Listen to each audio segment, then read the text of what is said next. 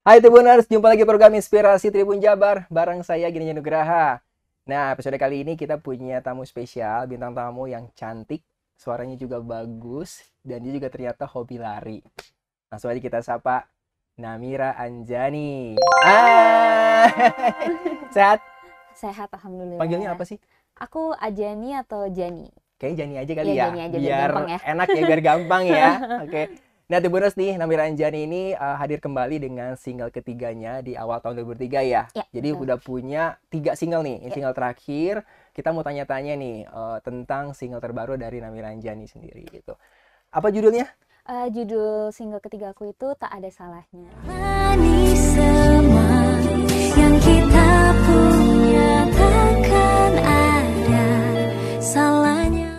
Ini buat Tribuners yang ngelihat Namira Anjani udah nggak asing lagi ya. Boleh buka kartu boleh ya? Boleh dong. Buka kartu ya. Jadi Namira Boleh. Anjani ini adalah putri sulung dari presenter kondang yaitu Alia Rohali. Tepuk tangan dong. Datang ke sini dong Tribun Jabar buat ngobrol secara langsung nih untuk bisa ngebahas eh, lagu barunya ya, Ya. gitu ya. Tapi ingin tahu nih, kenapa ini eh, Jani bisa lari ke nyanyi? Em, Ingin Jadi- tahu dulu dong biar tahu nih kenapa lari Iya. ke nyanyi gitu. mungkin karena Hmm. emang hampir Hmm. di keluarga besarku tuh Hmm. hampir semuanya tuh suka nyanyi dan bisa nyanyi gitu kan. Mama juga bisa. Eh, kecuali mama. Oh, Mama. Oke. Yang anak-anaknya yang Anak-anaknya seumuran ya. aku. Berapa bersaudara berarti? Eh, sepupu sih maksudnya. Oh, sepupu. Yang seumur-seumuran Oh, aku tuh oke. sepupuku Hmm. dari bagian mama tuh hampir semua bisa nyanyi. Dari mama ya. oke. Mm-mm. Nah jadinya mungkin aku juga keikut mereka. Terus pas umur 4 tahun aku pengen les nyanyi gitu. Oh, sempat les dulu ya. Iya, jadi aku Hmm. dilesin nyanyi tuh sama mama dari umur 4 tahun sampai Hmm. akhirnya sekarang ngeluarin single ketiga deh. Wah, keren loh, luar biasa. Berarti eh, jadi ini anak eh, putra, putri sulung ya dari berapa bersaudara? Eh, dan kalau dari mama tiga, Tiga ya. Berarti jadi paling besar. Yang kedua, Eh, cewek juga, cewek juga. ketiga cewek juga. Wah, deket-deketan umurnya semuanya. Jauh, aku lumayan jauh sih. Oh, lumayan jauh ya. Iya. Selisihnya berapa tahun tuh sama yang kedua? 8. Delapan. Luar biasa, Iya. luar biasa. Lumayan jauh. Wah, jauh banget ya.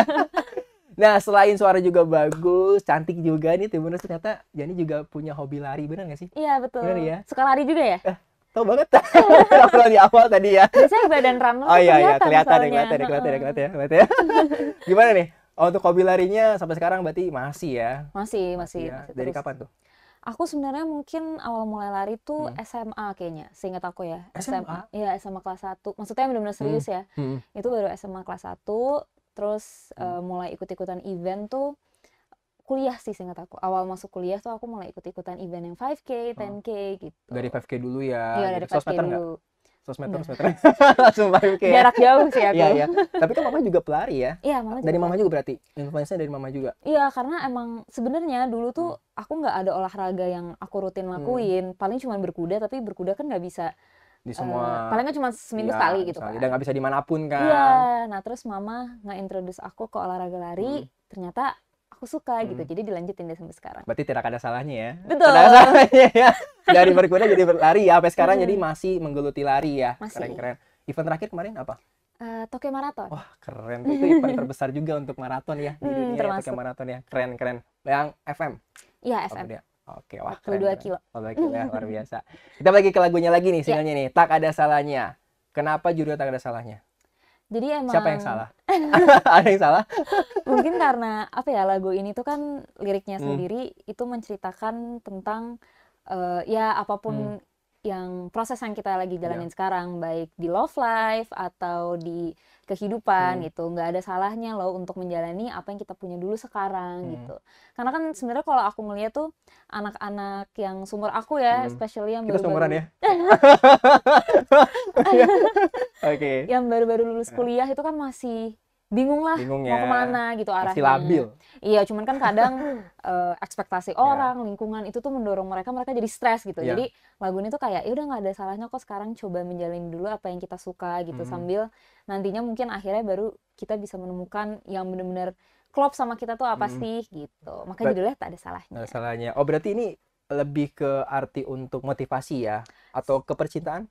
Bisa juga? Bisa dua-duanya, Bisa dua-duanya makanya ya? agak ah, aku sih menurut aku lagu ini tuh bisa multitafsir Hmm. gitu sih. Tergantung orang yang dengerinnya mau nangkepnya seperti apa. Oh iya benar-benar benar. Mm-mm. Ini sudah bisa didengarkan di Bisa. platform-platform musik yang ada ya berarti ya bisa di Oh, oke. semua platform Semua musik musik yang ada. ada oke tak ada salahnya siapa yang nyiptain Yang nyiptain itu Kak Iva Fahir Hmm. sama Kak Aime Sarah. ini berarti dari pengalaman mereka kah atau emang cerita dari jadi sekarang kan jadi juga Um, masih muda iya. Sebenarnya pada saat mereka mendengar eh, dengerin demonya Hmm. ke aku, eh, yang bikin aku oke juga adalah karena lirik liriknya itu Hmm, liriknya tuh relate gitu. Relate ya. Sama ya umur umur aku sekarang eh, yang lagi labil-labilnya gitu Iya, bisa iya, dibilang iya. ya. labil tapi kemarin kumlot loh. Weh, Ya, satu hukum ya. Tapi labil tapi bisa kumlot belum tentu kalian yang labil. Entah ke mana larinya ya Oke. Iya pokoknya eh, masih labil-labilnya lah yang sumur-sumuran aku masih terus mencari jati diri lah ya Mm-mm. bahasanya ya. kan banyak juga yang Hmm. di percintaannya masih Hmm. labil di Hmm. ka- menuju karirnya masih labil jadi aku merasa lagu ini cocok lah Hmm. untuk eh, situasi yang dialami aku dan mungkin banyak orang di sekitar aku saat ini gitu Oh, luar biasa. Berarti ini sangat dalam banget ya arti dari lagu Iya. ini ya, liriknya. Oke. sebenarnya iya sih Nah, iya sih ya. Oke. Tapi spill dong kemarin yang single pertama apa judulnya? Yang single pertama itu judulnya kamu Kamu yang kedua biar berlalu, biar berlalu. Ya, nah yang ketiga tak ada salah Tak ada salahnya berarti menuju album ya. Amin. Amin. Luar biasa. aminin dulu Oke, aminkan dulu. Nah, untuk jadi kan sekarang mungkin lebih fokusnya berarti pendidikan juga beres ya, tapi maksudnya fokus juga nih sekarang ya. Mm, mm, mm. Ambil kemarin kemarin ambil hukum berarti ya. Ya, Mau dilanjutin nggak tuh hukumnya? mau Mau ya, berarti sambil ya. sambil, sambil ya. paling Ada tersiratkah untuk menjadi pemain film kah? Atau menjadi model kah? Em, Atau benar-benar fokus aja di sekarang pendidikan sama tadi lari Hmm. sama sekarang nyanyi? mungkin untuk saat ini fokus di pendidikan lari sama nyanyi dulu sih karena emang itu sebenarnya juga udah agak Udah banyak ya Hmm. Banyak ya, padat juga ya. udah agak padat gitu Padat juga ya. ya jadi for now itu cuman kalau misalnya nanti ada kesempatan eh, tidak nggak tahu tahu mungkin gitu ya. Maksudnya harus dicoba juga gitu. Siapa tahu Hmm. ternyata bisa mengalahkan dia Sastro. oh, Oh, main film. Bisa juga kali ya. Kita nggak ada yang tahu ya ya. gitu. Nah, sekarang untuk menjadi influencer eh, influencer dari Jani sendiri menjadi seorang penyanyi itu siapa? Hmm. Atau penyanyi favorit sekarang siapa nih? sebenarnya mungkin kalau influence terbesar sih Hmm. yang tentunya itu Hmm, tadi sih keluarga hmm, aku sih keluarga ya. ya. karena emang semuanya suka nyanyi terutama kan yang awal banget mulai Hmm. itu eh, Tete Alika Hmm. Alika Islamadina dia pertama kali mulai jadi kayaknya kita semua tuh look up to her Oh, gitu ya, ya kayak oke. ah, pengen juga ya jadi Pengen juga. penyanyi gitu jadi mungkin emang kalau influence terbesar tuh dari keluarga sendiri Keluarga sih. Yang paling support di keluarga siapa? Yang paling paling paling support. semuanya, Semuanya. support karena emang eh, itu lagi sih mungkin karena kita semuanya berkecimpung di Hmm. dunia tarik suara ini jadi kita kayak understand Hmm, each other oh gitu iya ya. iya iya iya. kita tahu apa yang Apa dibutuhkan, dibutuhkan gitu gitu ya. Jadi support ya gitu. Maksudnya Mm-mm. segala hal di keluarga support banget Iya, gitu ya. betul. Jadi akhirnya bisa menjadi seorang penyanyi. Tak ada salahnya. Proses untuk bikin lagu ini berapa lama? Ah, sebenarnya tuh awal didengerin demo ini udah lumayan lama Hmm. sih Eh, mungkin tahun 2000 akhir 2019 atau 2020 awal deh kayaknya Oh, sudah lama demonya ya berarti ya. Heeh, tapi waktu itu sempat kepotong pandemi. Iya, pandemi ya, oke. Heeh, Dan pas itu kan ya kita belum terbiasa lah yang online-online gitu kayak Hmm. masih awam gitu. Jadi agak susah kalau mau workshop segala macam kan. Jadi pada akhirnya sempat Hmm. hold dulu, terus baru dilanjutin lagi tahun lalu. Hmm, Oh, gitu Mm-mm, lalu ya. tahun Jadi lalu baru ber- baru belar sarang berarti ya Mm-mm. gitu. Wah, luar biasa. Tapi berarti perjuangannya nggak sebentar ya. Iya, 2020 terpotong pandemi dan baru baru, bisa lagi 2022. 22 deh ya dan baru bisa di launching tahun ini ya Iya, berarti. Wah, keren nih. Ya lumayan lama sih. Lumayan ya. Tapi nggak apa-apa, maksudnya ini menjadi hal pencapaian ya untuk Iya. akhirnya bisa uh, melaunching single ketiga Mm-mm, gitu kan. Betul. Nah, ini sebenarnya untuk genre musiknya apa sih? Kalau aku dengar mungkin agak jazz ya, Iya, aku sebenarnya sih kiblatnya mau lebih sedikit ke pop jazz ke pop sih. jazz ya. Jadi uh, ada unsur jazznya, Hmm. cuman masih something easy to listen Hmm. to gitu. Ya emang kiblatnya ke sana. Balik ke sana ya. Berarti ada kemungkinan next nextnya bakal sama ya genrenya ya, pop Mm-mm. jazz gitu ya. Kan Iya. easy listening banget ya. Maksudnya sambil kalian sambil ngerjain tugas, sampai mungkin lagi beresin kerjaan gitu tuh Hmm. kayaknya seru banget ya gitu ya. Nanti kita nyanyi dikit ya boleh? Iya boleh. Boleh dong. ya, request dong, rapnya aja, rapnya aja. Boleh oke. Nah, ini harapannya nih untuk tak ada salahnya untuk Hmm. Jani sendiri harapannya apa nih? Eh, sebenarnya harapanku tuh simple aja sih. Semoga eh, lagu Hmm. ini kan emang lagu yang yaitu perjuangannya Hmm. juga nggak singkat ya singkat untuk banget. lagu ini bisa ada bisa keluar Hmm. dan bisa didengarkan semua orang. Jadi semoga eh, lagu ini banyak disukai Hmm. orang, banyak didengarkan orang. Semoga juga mungkin orang-orang yang sekarang lagi mungkin bingung Iya. gitu atau labil abis mendengarkan lagu ini bisa Semangat lagi. semangat lagi gitu Optimis lagi. Mm-mm. Wah, keren nih. Gitu Kayaknya sih. harus kalian dengerin nih ya gitu untuk tak ada salahnya dari Yani gitu. Ya. Nah, Tribuners tahu nggak sih ternyata Namira Anjani, Anjani ini juga pernah mengikuti kontes atau eh, ini ya eh, apa sih namanya The Eh, kontes suara ya, Ya, benar ya, The. Voice ya. Iya. Tahun berapa itu? Itu tahun 2019 sudah lama sih Udah lama ya, tapi kan itu menjadi salah satu apa namanya proses ya, Iya proses, proses ke sana ya. Iya betul Gimana tuh ceritanya akhirnya bisa ikutan The Voice? Eh, karena emang pada saat itu tuh aku udah jarang tampil karena Hmm. kan SMP SMA aku masih banyak lomba nyanyi Hmm. waktu di sekolah cuman pas kuliah itu kan udah jarang tampil Hmm. dan sebenarnya kangen, Kangen. tampil plus pengen ngelatih lagi karena kalau udah lama nggak tampil depan orang tuh Gugup lagi, Gugup lagi, canggung lagi. lagi gitu ya. Heeh, nah jadi aku akhirnya memutuskan pengen deh kayaknya Hmm. gitu udah mana pas itu kan jurinya kebetulan Isyana dan Iya, aku iya. suka banget kan jadi kayak Isyana, Arman Maulana, Ya, satu Titi lagi DJ, Titi DJ, sama empat ya? Nino dan Vidi Vidi. Oh, li- berlima ya? Iya yang eh, soalnya Kanino sama Kak Vidi tuh bareng. Oh, Iya. barangnya. Iya, Nino Nyaran ya? Iya. Ah, oke oke. Nah iya jadi pada saat aku tahu ada Kak Isyana, kebetulan aku ngefans kan. Oh, iya. Jadi aku kayak hmm, Oh, pengen oke ikut. benar sih. ya, ya, ya. Oke, oke. Jadi ikutan ya gitu ya. Berapa lama sih dulu ikutan The Voice tuh prosesnya? Ah, lumayan lama sih. Lama-lama. Berapa bulan? Berapa bulan Berapa gitu bulan? deh aku izin-izin kuliah. Izin gue tuh bisa kumlot keren. Tapi itu The Voice sendiri apa sih maksudnya peng- uh, ada pengalaman yang tidak terlupakan nih apa tuh dari Voice sendiri? Ah, Dan yang- sampai sampai tahap mana akhirnya? aku tuh sampai tahap battle yang nyanyi duet-duet itu kan. ya. Mungkin yang nggak terlupakannya ya bisa diajarin langsung sama Kak Isyananya. Terus Hmm. kebetulan pas tahap battle itu Kak Gamal Hmm. juga ngajarin Hmm. gitu. Jadi bisa dapet ya insight dari mereka hands on itu menurut aku kayak Wah, dan itu bagikan mimpi banget ya. Iya maksudnya kan ngefans gitu Ngefans kan. banget akhirnya bisa di coaching langsung sama Isyana Iya ya. makanya. Keren sih. Keren keren keren. Dalam waktu dekat ada untuk manggung? Eh, kalau untuk manggung mungkin belum, Belum. karena masih ini juga sih ya bulan puasa ya. Iya ya. Maksudnya setelah Ramadan gitu ada Iya. rencana buat mungkin ikut festival-festival atau mungkin Em, ada Didoakan. mini-mini konser. Amin amin. Cuman amin. mungkin lebih ke aku sekarang lagi proses buat bikin single selanjutnya ah, lagi sih. feel dong.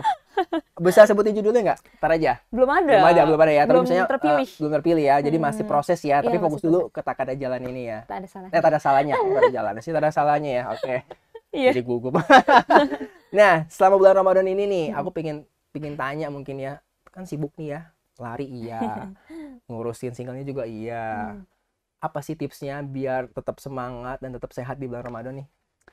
Yang pasti pada saat ini Hmm. basic sih. Pada saat Hmm. sahur dan buka makan makanan yang bergizi. Yes, pasti ya itu ya. Terus bulan puasa bukan berarti tidak berolahraga ya. Nah, itu dia dengerin. Gitu. Harus mengolah badan. Oke. Betul. Karena sebenarnya menurut aku Hmm. eh kalau misal olahraga pas bulan puasa tuh Hmm. justru badannya jadi agak lebih seger gitu Iya, ya. seger Jadi nggak terlalu lemes gitu. Jadi dua itu sih Hmm. yang menjaga kesehatan aku sama Hmm. ini olahraga rutin Hmm. dan makannya yang benar. Nah, itu berarti tetap menjaga nutrisi ya, Iya, kalau gitu betul. ya. Gitu. Oke. Boleh dikit dong nyanyiin Oh ya, lagunya. oke. Tak ada salah dari Boleh? Ke mana? Ini Sini. ke mana sih kamera? Sini. Oh yang ini ya? Eh, ini nih. Mana? Oh ini. Ini. Oke. Oke, jadi ini aku nyanyiin dikit ya. Oke. Apakah yang ku rasa yang tersirat di dada ku jatuhkah? Atau hanya sekedar canda? Jangan jauh pikirkan jangan banyak berharap.